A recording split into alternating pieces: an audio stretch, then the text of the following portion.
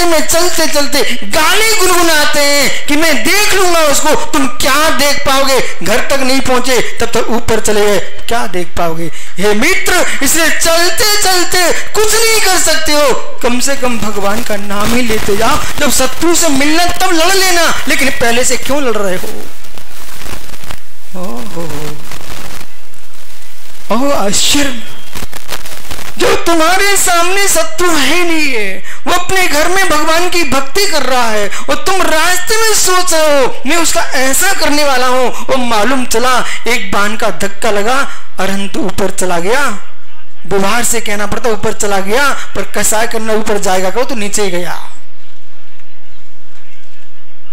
किम अनर्थम किम अनर्थम बिना प्रयोजन के भाषण करना। बिना प्रयोजन के चिंतन करना, बिना प्रयोजन की क्रिया करना, जिस क्रिया में पुण्य कार निहित न हो, वे सारी क्रियाएँ अनर्थ हैं। जिस क्रिया में पुण्य न हो, वे सारी क्रिया अनर्थ है। और आश्चर्य बेटा, छोटू, ऐसे लोग मिल जाएँगे। घर में बैठे बैठे घर में बैठे बैठे यानी पत्ते खेल रहे मिल जाएँगे। लेकिन तीर्थंकर की गर्जत की फेरी में नहीं चल पाएँगे, क्योंकि इतना पुण्य ही नहीं है। ऐसे लोग मिल जाएँगे, अभी आप जाके आओ। लोगों से बातें बतिया रहे होंगे, सो रहे होंगे ओम रहे होंगे। वहाँ कमर दर्द नहीं करती है गर्मी नहीं लगती है, पर अरहंत देव के जुलूस में वे ही चल पाते हैं, जिनको भविष्य में तीर्थंकर पा के पाद मूल में रह करके, दिगंबर मुनि कर, बन करके उनके साथ बिहार करने का अवसर नहीं मिलेगा जो आज इनके साथ बिहार करेगा। अहो भव्य जी आपकी भवितव्यता सीमा है। जब तुम भगवान के बिहार में गर्मी देखोगे तो बेटा तुम बिहार कभी नहीं करोगे। जबकि आपको मालूम होना चाहिए, देवों को बोध हो गया है। त्योरी में भगवान आदित्यनाथ के चरण में गजरत महोत्सव हो रहा है उन्होंने पहले से ही वायु कुमार देवों को भेजा, बोले, ठंडी हवा चलाओ। और मेघ कुमार देवों से कहा, बदली कर दो। बरसना नहीं। बदली कर दो, बरसना नहीं। बोले, ठंडा भी रहे और ज़्यादा बह भी ना जाए। कुछ तो है। कुछ तो है। आपको मालूम होना चाहिए, तीर्थंकर के माल मूल में चंदन भाई सब कुछ होता है। कि अनर्थम? अनर्थ क्या है? इसलिए अतुल, अपने चित्त से कह देना, दुनिया में इसका प्रयोग मत करो। तुझे पता होना चाहिए, जितने श्रावक बैठे हैं, अधिकांश इनका साबुन लगाने का त्याग नहीं है। बराबर है ना? फिर शास्त्री जी खड़े हो जाओ। यदि तो कहीं कदाचित साबुन से स्नान कर रहा था, और वो सावन स्नान करते समय तुम्हें दिख गया कि संतोष भी आया है बेंतर भी आया है सौरभ भी आया है तो तुरंत क्या करेगा? उस साबुन को छोड़ देगा कि तुरंत उठा के सावधानी में रखेगा। अब छुपाने से चेहरा क्या होता है? जो है सब बोलो एक सौ रुपए का साबन, इसको भी बीरन भैया ये शास्त्री तुरंत सावधानी में रखता और छुपा लेता। और ये सबसे ज़्यादा मालूम जब चलता है जब यात्रा को निकले। तब सबके सबके सबके सबके अंदर की बातें पता चल जाती हैं। यात्रा में जाए और फिर बीरन भाई जबलपुर खा पी के आया था कहता, शास्त्री, भोजन कर लिया कि नहीं कर लिया? तब सबके पता चलता, तुम कितने महान हो। और वो सावन था, वहाँ छोड़ता नहीं है। बोले, महाराज जी सौ रुपए का साबुन घुल जाएगा। अच्छा अच्छा सौ रुपए का साबुन घुल जाएगा। और भी तो कुछ छिपा इसमें। छोड़ दूँगा तो छोटू उठा के लगा लेगा। तो मेरा साबुन जल्दी खर्च होगा। ईमानदारी से बोलो, ऐसा है कि नहीं? अच्छा भैया, तुझे शर्म आना चाहिए। ठीक तू कर रहा है कि सौ रुपए के साबुन के लिए इतनी तुम्हें चिंता है कहीं छोटू ना लगा ले इतनी चिंता है, पानी में ना घुल जाए। हे मित्र, तुझे इतनी चिंता क्यों नहीं सताती है? जब गप्पों में बैठता है तो गप्पों में तेरा जीवन घुर रहा है। वहाँ क्यों नहीं सोचता है कि मेरा जीवन व्यर्थ में क्यों नष्ट कर रहा हूँ? उसको मैं रख लू अपने साबनदानी के अंदर। मेरा जीवन व्यर्थ की बातों में न जाए, मैं जिनवाणी की बातों में अपना जीवन व्यय करूँ। बेविचारे अल्प बुद्धिहीन है, जिनके दिमाग छोटे होते हैं और मस्तिष्क मुक्त ऐसे पतले से छिपटिया जैसे। ओहो, समझे? जिनके माथे छोटे होते हैं, बुद्धि कमज़ोर होती है, उनके सारा का सारा समय इसमें चला है भैया। त्योरी में ऐसा हुआ, जबलपुर में ऐसा हुआ सिमनाबाद में ऐसा हुआ, सतना में ऐसा हुआ, कटनी में ऐसा हुआ। उस पगले से पूछो, इसे पूछ तेरे से कौन रहा है? तू तो ये बोल, तेरे भीतर क्या हो रहा है?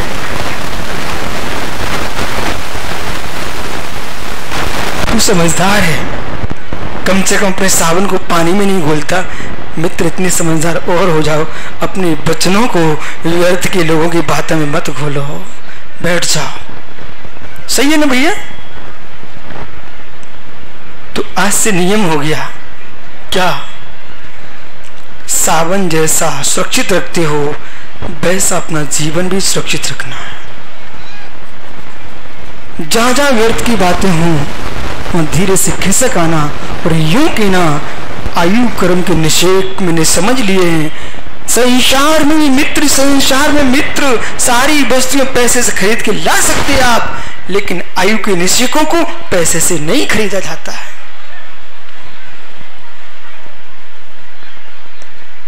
इसलिए इस शास्त्री से मतलब नहीं समझना। ज्ञानी जितने त्योरी के युवा हैं, उन्हीं के लिए नहीं कह रहा हूँ। जितने मंडप में श्रावक या नहीं है, उनसे भी कह रहा हूँ।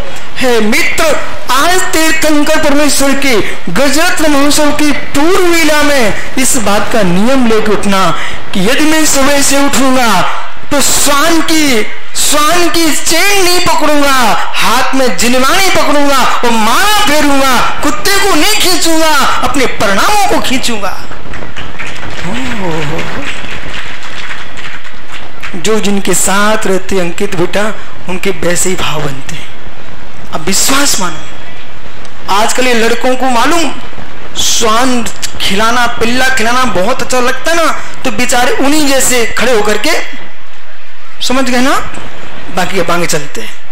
मतलब जो जिनके साथ रहता है, उनके वैसे ही संस्कार पड़ते अरे भैया मुनियों के साथ रहो तो कपड़े उतार करके खड़े होकर खाना प्रारंभ करो। कम से कम दिगंबरों की संख्या तो बढ़ेगी। ओहो।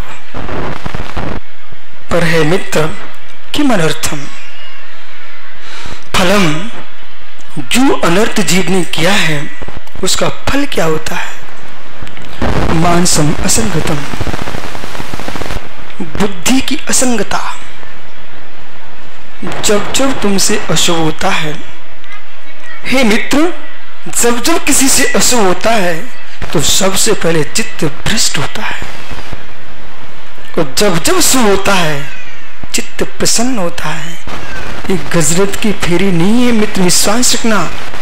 जितने महोत्सव होते हैं ये तुम्हारे भावों की विशुद्धि की फेरी है। महामहोत्सव होने से मिथ्या दृष्टि जीव भी सम्यक को प्राप्त कर लेते हैं। जो कभी जिनालय नहीं जाते, वो भी एक बार जिनदेव के दर्शन कर लेते और विश्वास रखना मित्र, एक बार के दर्शन भी, एक बार के मात्र दर्शन आपके कोटि कोटि जन्मों के पापों का अच्छे कर देते एक बार के मात्र दर्शन, एक नींबू की बूंद मात्र, एक दूध में चले जाए तो दूध फटेगा कि नहीं फटेगा? एक दृष्टि परमात्मा की तुम्हारी आँखों में आ जाए मित्र, तुम्हारे कर्म नियम से फटेंगे फटेंगे फटेंगे। आज ये त्योरी में महोत्सव जो चल रहा है, विश्वास मानना ऐसा लगता है इस भूतल पर ज़रूर कोई ना कोई तीर्थंकर का विहार हुआ है। अन्यथा, ऐसे प्रशस्त परिणाम यहाँ के श्रावकों के अंदर कि भले परिवार कम हो, पर भक्ति में कमी नहीं है। ये आप अनुभव कर रहे हो। भक्ति में कमी नहीं है। इस भक्ति का ही प्रभाव है कि आपको हर वर्ष, एक दो वर्ष में पंचकर्ण का महोत्सव करने को अवसर मिलते हैं और साधुओं की चर्या करने का अवसर मिलता है और मालूम ये ऐसी गजरत की फेरी होने वाली है, जबलपुर में, अमृत तीर्थ में। अंकित भाई, क्या प्रभु का गजरत चला? है मित्र, वैसा ये दिन, वैसा ये क्षण है और आचार्य भगवंत विद्यासागर महाराज तिलवारा से आशीर्वाद दे रहे हैं। आचार्य भगवंत विराग सागर महाराज, उदयगिरी खंडगिरी से आशीर्वाद दे रहे हैं मित्र। विद्यानंद दिल्ली में बैठे आशीर्वाद सोच रहे हैं और वर्धमान सागर जी, कर्नाटक में बैठे सोच रहे हैं। वो तो मेरे से एक बात कह रहे थे, बताऊँ क्या आपको? अरे बता दो तो कोई पाप नहीं पड़ता। पक्का बताऊँ? पक्का? वर्धमान सागर जी मेरे से बोले, द्रोणगिरी में क्या विशुद्ध सागर जी, आप दिग्विजय करने के लिए निकले हो। जहाँ देखो गजरत गजरत चल रहे हैं और पंचगांग पंचांग हो रहे हैं। मैंने कहा, स्वामी, मैं क्या बताऊँ? मेरे जीवन में आचार्य विद्यासागर महाराज ने 1990 में ऐसा आशीर्वाद दिया था, बोले कि बेटा, इतनी छोटी उम्र में तुमने दीक्षा ले ली। मैंने कहा, गुरुजी, देर हो गई। उन्हें अभी भी देर हो गई। उन्हें क्या चाहते हो? बस मैं कुछ नहीं चाहता हूँ। मेरे जीवन में प्रभावना हो ना हो, पर अप्रभावना ना हो तो भूतपूर्व फिर उन्होंने उत्तर दिया, बेटा, विशुद्ध सागर विशुद्ध सागर, जीवन में मोक्ष तो मिलेगा, नियत समय आएगा जब, लेकिन दो बातों से दूर रहना, एक श्री जी से श्री जी से नहीं श्री से और देवेंद्र साहब वहाँ थे, खड़े हुए थे। उन्होंने क्या बोला? श्री से दूर रहना और श्रीमतियों से दूर रहना। तो मैंने कहा गुरु जी पहले से मेरा नियम था, आज और पक्का है। वो बोले, बेटा, श्री और श्रीमती से दूर रहोगे तो श्री जी हर समय तेरे साथ रहेंगे।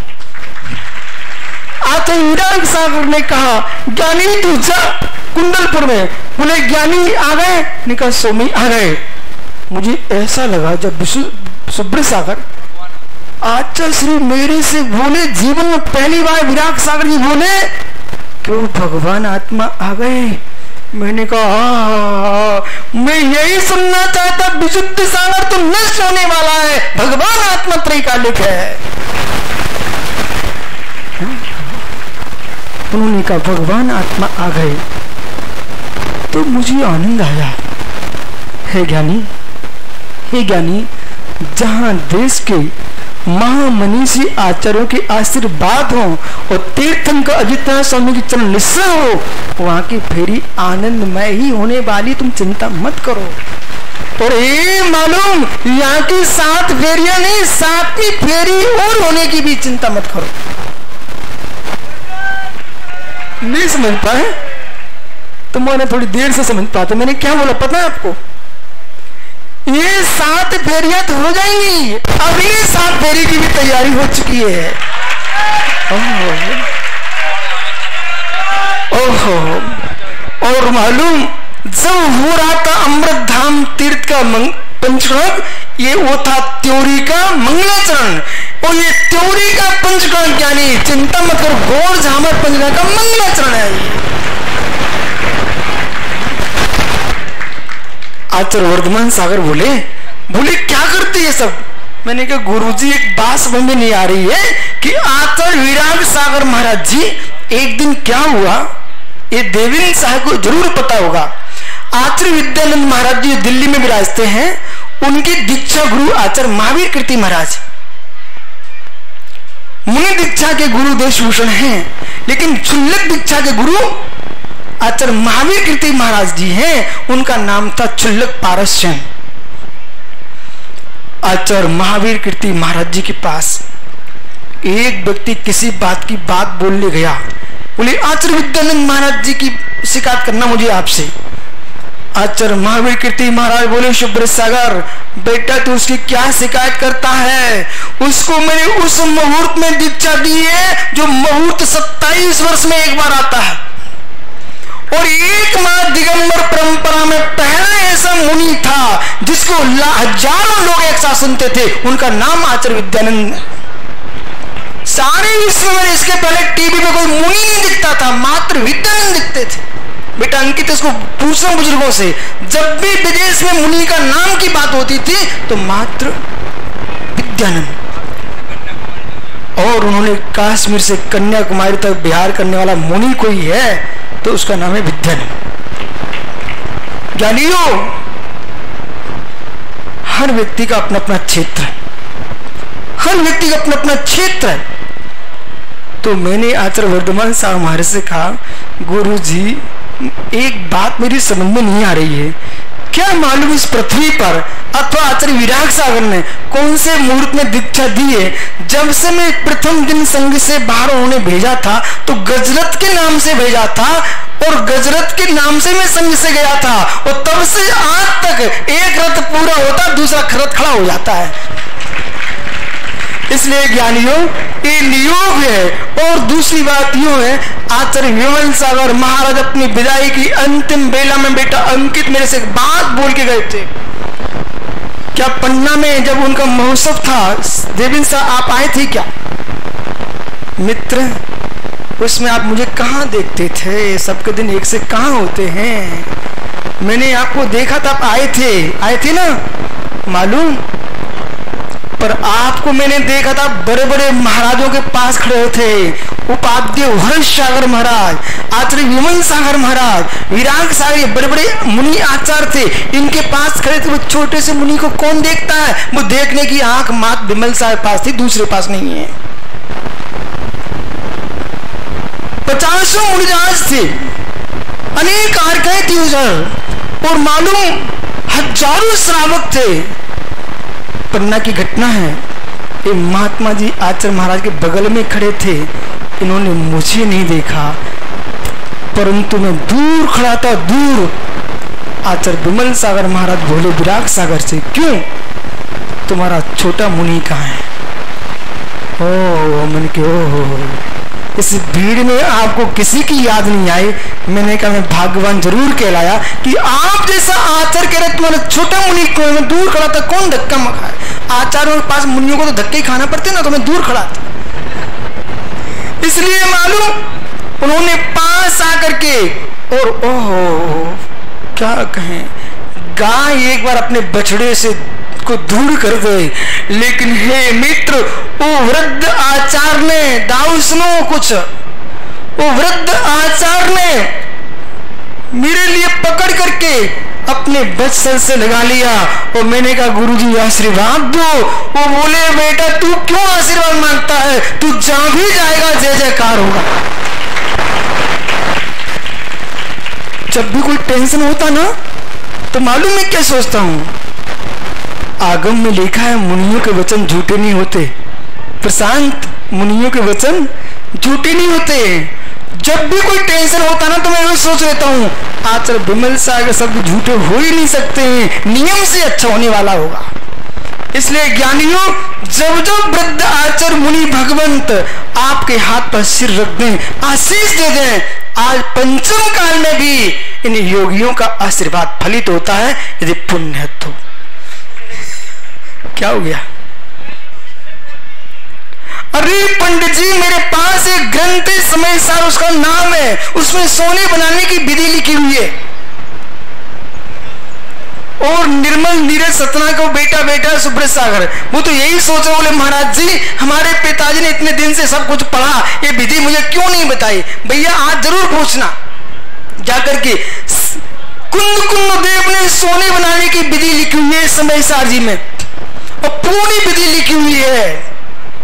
स्पष्ट लिखा है, इससे सोना बनता है। मालूम है त्योरी के लिए क्या सोच रहे हैं? सिलिम ना मालूम, बोले, महाराज जी, आप तो जल्दी बता दो, मैं भी एक गजर चलवा लूँगा। मित्र सोने की विधि स्पष्ट लिखी है। एक दिन मैंने त्योरी में पूछा, यहाँ की माताओं से, क्यों इनर से बनाने बनते क्या? सो बोली, महाराज, बहुत कठिन होता है। सब माता नहीं बना पाती है छुप के बनाना पड़ता, पर बनते कि नहीं? बनते ना, परंतु सबके हाथ से एक पकवान जैसी सामग्री। हर माता के हाथ से नहीं बनती है। जिसके हाथ से नहीं बनती, वो समझ ले, मेरी विशुद्धि में कमी है। हे मित्र, सोना बनने की विधि समय सार में लिखी हुई है, लेकिन आचार्य जैसे स्वामी ने विधि का व्याख्यान करते करते सारी सामग्री बता दी। फिर धीरे से कहते हैं, इन सामग्रियों के मिश्रण से हस्तनी का मूत्र सिंदूर नांगपड़ी आदि आदि आदि आदि, इन सामग्रियों को मिलाने से, मंद धोकनी पर धोकने से सोना बनता है, लेकिन पुण्य होता है तब। एक सज्जन भिंड में बैठ गए सोना बनाने के लिए। डॉक्टर साहब बे कढ़ाई के बैठ गए। वो मालूम चला कि कढ़ाई में आग लग गई, बेचारे बच गए, नहीं तो वे साथ में चले जाते। इसलिए ज्ञानियों, हर वस्तु की प्राप्ति पुरुषार्थ तुम्हारा साथ में होना चाहिए, पर सफलता तभी मिलेगी जब भाग्य तुम्हारा साथ देगा। इसलिए अपने जीवन में इस बात को समल समल के सुनना। और आज तीर्थंकर भगवान के इस महामहोत्सव के अवसर पर एक एक नियम ज़रूर इस बात का लेके जाना कि अब मैं आज से स्वान की चैन नहीं पकड़ूँगा, जिनवाणी के जिनवाणी के जिनवाणी के प्रश्नों को पलटूँगा। कितने लोग नियम ले रहे हैं? साल में, वर्ष में एक बार एक ग्रंथ पूरा कर लेंगे। कितने लोग नियम नहीं ले सकते? हाथ ऊपर करो। कितने लोग नियम ले रहे हैं कि एक ग्रंथ पूरा कर लूँगा मैं पढ़ करके? माताओं, बस मेरा काम पूरा हो गया। जिसने जिनवाणी का नियम ले लिया, गज़ल सफल हो गया।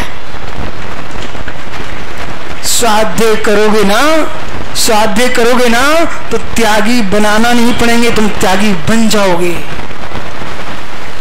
जितने जीव स्वाध्याय करेंगे अंदर से पढ़ेंगे, अध्ययन करेंगे, चिंतन करेंगे, मनन करेंगे, एक बार सोचना पड़ेगा, किम उपादेयम? किम हेयम? क्या है? ये क्या उपाधि है? इसका बोध माँ जिनवाणी के पाद गुण में होता है। इसलिए मित्र, आपने जिस महोत्सव को पूर्ता की ओर ले गए हो, सभी इंद्राणियों के लिए और नगर के मालूम जैन समाज के नहीं, अन्य नागरिकों के लिए भी मंगल आशीष इस बात का कि इस वर्ष के पंचकांत में मालूम भी है, सारी की सारी समाज जैन हो चुकी है यहाँ की। मन्नत में पूरे वही बैठे मिलते हैं आपको और मालूम प्रवचन की इंतज़ार ही करते हैं कि कब प्रवचन प्रारंभ हो रहा है। शाम को शाम को कुछ बच्चे मेरे पास पहुँचे, बोले, महाराज जी, बीच का माइक बंद हो गया था। तो दस पचास फ़ोन आ गए गाँव वालों के माता बहनों जो यहाँ नहीं आ पा रही थी। बोले, भैया, प्रवचन नहीं सुन पाए, आज तो पाप पड़े। बोले, क्यों? बोले माइक बंद हो गया था। ओहो, ऐसे परिणाम जिस नगरी के संपूर्ण नागरिकों के मस्तिष्क में हो, यानी वहाँ पर तो आनंद ही आनंद होना ही है। बस ये संभाल के रखना, शास्त्री, सारे युवाओं से बोल के रखना, जो अखंडता, एकता आप बना के रखे हो, इसको मित्र जीवन की अंतिम श्वास तक बना के रखना। वो वृद्ध पंडियों, टेकचंद जैसे लोग, रोके ना जाएँ, मुस्का के जाएँ कि हमारी समाज आगे भी ऐसी चलेगी।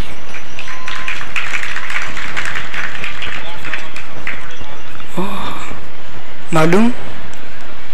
यहाँ के चंद्रपुर स्वामी का मंगलाचरण और गौर सामर में कितने फिट के भगवान भैया? इकतीस फिट के भगवान बाहुली स्वामी की प्राण प्रतिष्ठा होने वाली है। अब मालूम यहाँ के श्रावक क्या सोच रहे देवेंद्र साहब, इतने भगवान क्यों बना रहे हो? अरे इतनी ऊँची ऊँची जब अपन भगवान बना के जाएँगे ना, तभी तो सिद्ध श्रावक इतने ऊँचे पहुँच पाएँगे। हाँ।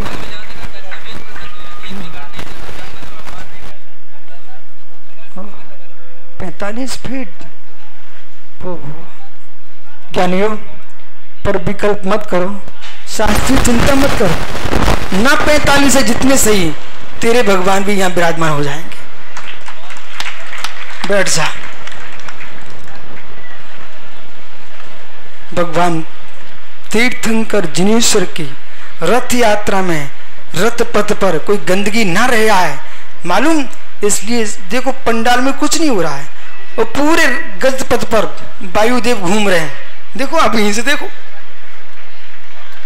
पूरे रथ पर वायुदेव घूम रहे हैं। बोले, कोई कचरा ना रहे तीन लोग के नाक की सफ़ाई, अरे कोई दूसरे से नहीं कराना देवता के स्वयं कर रहे हैं।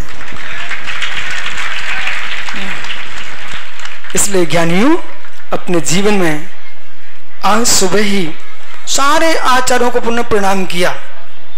और ये ध्यान रखना, ये तुम भूल कर लेते हो। बोले, गुरुजी हाथ उठाएँ, तब आशीर्वाद मिले। अरे भैया, तुम्हें पता होना चाहिए वे ध्यान में लीन है, वो हमने प्रणाम किया है तो उनकी भी गुदी, गदिया गुदगुदाती है। तुम लोग भूल गए क्या आप? अपन जब छोटे थे तो नानी क्या बोलती थी? दादी क्या बोलती थी? बेटा गदिया गुदगुदा रही है ना तो कोई याद कर रहा है। जब सामान्य आदमी याद करे तो नानी की और दादी की गद्दिया गुदगुदाए तो विशुद्ध सागर जैसे मुनि महाराज, आचार्य परमेश्वरी, यदि इन आचार्यों को याद करें तो विद्यासागर गुदी गद्दिया न गुदगुदाए विराग सागर की न गुदगुदाए विद्यानंद नहीं गुदगुदाए गुदगुदाएगी गुदगुदाएगी इसलिए अपन तो खुश रहते हैं, हम याद करते हैं उन योगियों को तो उनको सोचना पड़ता है, कैसा वज्र का जीव है जान जानकर गुदगुदवा लेता है और फिर आशीर्वाद ले लेता है। सारी विद्या मैं आपको खुल के दे रहा हूँ। तुम लोग ले सको, तुम्हारा काम है। देख भाई, छोटे में देविन साहब मुझे बोल दिया, बोले, भैंस का दूध लगा के आओ। उनकी बाप रे भैंस का दूध लगा के आओ, वो भिंडी की भैंस है। एक एक भैंस बड़ी बड़ी बाल्टी भरती है। मैंने कहा, चिंता मत करो। ज़रूर लगा के आऊँगा, एक बार ज़रूर लगाऊँगा। और साहब, मैं बैठ गया। वो फंसाना पड़ता ना बाल्टी को। अब इतनी एक बाल्टी भर गई, अब कहाँ से फंसाऊं मैंने ज़मीन पर रख लिया? मैंने कहा, यदि भाग होगा तो इस पैर नहीं हटाएगी, वो भाग नहीं होगा तो जिसका दूध उसमें जाएगा। उस भैंस ने एक पैर नहीं हटाया। और मालूम, उसको धीरे धीरे सहलाते रहे सहलाते रहे, उसने पूरी बाल्टी लबा लब भर दी, मैं पूरा आगम सीख गया उसी दिन। मतलब भैंस के चार थनों को मैंने ऐसे सहलाया, उसने बाल्टी भर दी तो जिनवाणी के चार थनों को सहलाओ, और गुरुओं को सहलाओ, अपने आप आशीर्वाद भरता है वो अपने आप जिनवाणी मस्त में घुस जाती है। सहलाना सीखो। सहलाना सीखो। सब पिघल जाते हैं। सहलाना सीखो। भैया, बाबा जी विराजमान हो गए, रथ में चलो अब। है मित्र तीन लोग के नाथ, जब कभी चांदनपुर के महावीर की रथ यात्रा निकलती थी, वहाँ गुजर मैना, सारे सातों जाति के लोग, वहाँ मेरे मित्र, क्या महावीर जयंती होती महावीर जी की? आज मित्र वही दृश्य त्योरी में दिखाई दे रहा है। चारों ओर इस समाज की भीड़ मत कहना, ये भक्तों की उपस्थिति है। ये भीड़ नहीं है भीड़ तो वहाँ जाती बतासे मांगने के लिए। ये भीड़ नहीं है। मेरे मित्र, कोई मिट्टी के तेल की भीड़ नहीं है। ये अरंत की जिनवाणी और तीर्थंकर अरंत की यात्रा में जा रहे हैं। ये लोग यहाँ जुलूस में जाएँगे, उनकी ज़रूर शिव यात्रा निकलेगी। और जो घर में बैठ जाते हैं, कुछ लोग अभी धूप धूप कह करके यहाँ पंडाप में भग के आने वाले गुन्नू जैसे लोग, ये लोग क्या जाएँगे? भाई बहन की शादी में तुम नाटक करके नाच सकते हो, गाड़ियों में घूम सकते हो, तीन लोग की नाच की यात्रा में तुमको गर्मी लग रही है। अरे धिक्कारो साफ़ नरक की गर्मी को देख जा करके। इसलिए है मित्र, कितनी गर्मी पड़े। भगवान की फेरी करना फेरी करना। और ये मालूम, ये सात फेरे में तुम थकने लग गए। तो फिर कहना, शास्त्री, वहाँ सात फेरे में क्यों नहीं थका था जब तेरे सात फेरे पड़ रहे थे? वो पटना नहीं है, पटना चला गया क्या संतोष पटना? ज्ञानी समझो मैं क्या कह रहा हूँ, मार साहब सिलमनाबाद, यहाँ तुम तनक में थकने लगते हो। वे सात फेरे पड़ रहे, तब कहीं थक गए थे? तब थक गए होते तो बेटा, यहाँ ना मिलते, और कहीं होते। जाओ, जीवन में सातवीं फेरी तक मालूम, छठवीं फेरी तक नारी आगे रहती है। ये सात फेरी क्यों फिर रही है रथ की? तुम्हें समझाने के लिए फिर रही है सातवीं फेरी के पहले छठवीं फेरी तक माता कौन आगे रहता है, है? बिटिया रहती ना फिर तुम और सातवीं फेरी में पीछे क्यों हो जाते? पता ही क्यों हो जाते पीछे? बोले ज्ञानी स्त्री कितनी पाप करे छठे में रख के नीचे नहीं जाएगी। तो तुरंत पीछे हो जाती है। और जैसे ही सातवीं का नंबर आता है वो कहती परमेश्वर जा तेरा ही नंबर आता सातवीं में। इसलिए सातवें नरक से बचना चाहते हो तो सातों फेरियों को मुस्का के फेरो और सात परम स्थान की प्राप्ति का लक्ष्य बनाओ और मानसिक तनाव से मुक्ति पाओ। यही अनर्थ दंड के फल से बचना चाहते हो तो मित्र, आज से घूमना घामना बंद करो, जिनालयों की बंदना प्रारंभ करो, इससे कर्म की निर्जा होगी आत्म शुभावम परिभाव भिन्नम, आत्मा स्वभावम परिभाव। आत्म का स्वभाव परमात्म का से अत्यंत धन्यवाद महावीर स्वामी की